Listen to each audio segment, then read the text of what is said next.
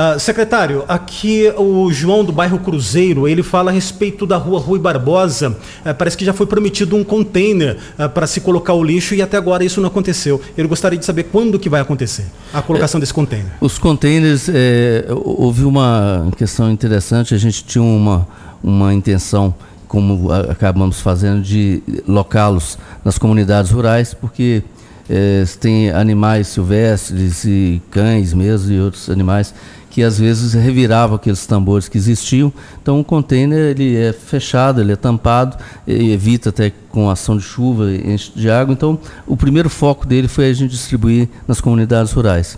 Houve um excedente e começamos a distribuí-los em alguns pontos mais críticos na cidade.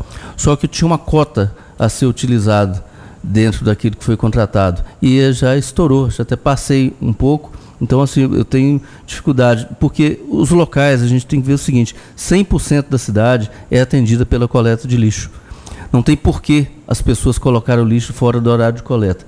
Ele tem que verificar, eu já andei conversando até com o, presidente da associação no bairro do Cruzeiro, porque um dos locais que ele havia solicitado, não sei se é este, ele já é beneficiado pela coleta é, em dias alternados. Então as pessoas têm que também se educarem para colocar dia, o lixo no dia certo. Então a, a pessoa está nessa comodidade, todo dia, toda hora, juntou um saco de lixo e coloca na rua. Não, se é segunda, quarta e sexta, é segunda e quarta e sexta. Tem os horários, está no site da prefeitura.